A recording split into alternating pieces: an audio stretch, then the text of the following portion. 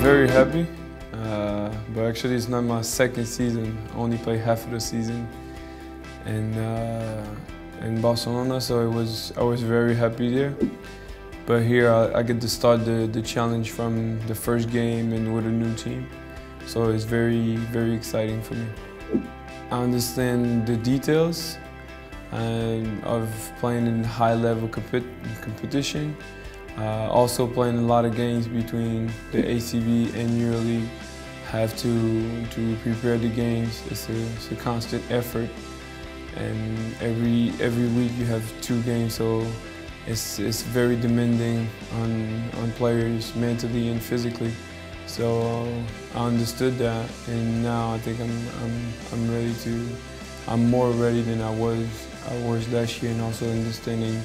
Uh, the referees, how they call the game, is much different from what I was used to in, in, in France. So it was, it was nice to, you know, starting to get to know the, the competition. And like I say now, it's, it's, it's better. Uh, I feel more ready than I was last year.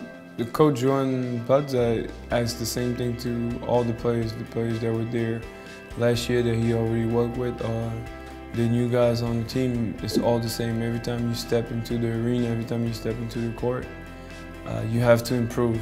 No matter if you're 18 or 35, if you sign here, you have to be a better basketball player at the end of the year than you was at the beginning. So uh, that's how I think too.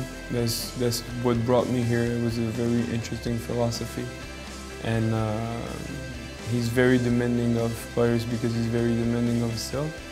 And we work a lot. And I think we have a, a perfect team for that because we have a lot of guys that are willing to work hard to, to have success. So um, yeah, that's what Coach Plaza asks, dedication, work, pay attention to details. And it's been great so far. I mean, on teams, on every team, I feel like we're talented, but we might not be as talented as teams like CSKA or, or the top EuroLeague teams they are in our group. So the, the details, the focus on the details got to be even more important for us. We can't uh, not box out or uh, turn the ball over as much as they do maybe because they have more opportunity to score. So the game is maybe easier and we have a lot of new guys on the team, so we have to find a chemistry quick, and we have to pay attention to, to, to details and do as many mistakes as possible if we want to have a chance to maybe make it to, to, that, to the top 16 and maybe after to the top eight, we'll see. I mean, I think it's the goal every season. Some, some season you succeed, sometimes you don't. But to go as far as, as the team can bring you, uh, to to have maximized the potential of the team uh, as much as possible. I think it's, it's the goal every year to go as far as possible in, in competition.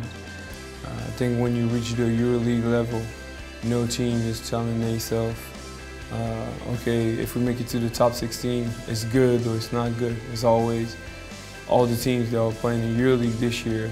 If you, you ask to any team at the beginning of the year, they're going to try to win it. The competitors is high level basketball, so they're going to try to win it. For us, it's the same. We start the season with this mentality, not thinking, oh, we're going to find excuse, they're better than us, they're bigger, it's bigger. So the, the goal is always going the furthest in the competition as possible. Uh, game after game, not thinking about, okay, top 16 or maybe after. Taking game after game and trying to have as many wins as possible.